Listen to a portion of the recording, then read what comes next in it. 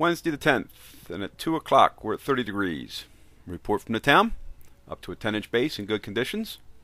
Long range forecast, calling for snow just about every day. Highs 20s to teens, lows singles to teens. So it's just a matter of wait and see to see what we get. They are still calling for snow later today.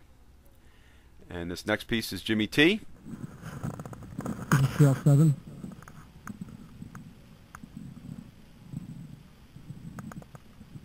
Up near the wigwam. And for those of you that don't know, the wigwam is the place that has the airplane sticking out of the roof.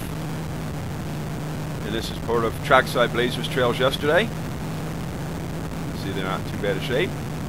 Everybody I spoke with, they're all having a good time. Nobody's saying, boy, we wish we stayed home. Talked to some guys yesterday, they put 160 miles on. They went over towards the hill. Hope you're having a good one. And remember, see ya.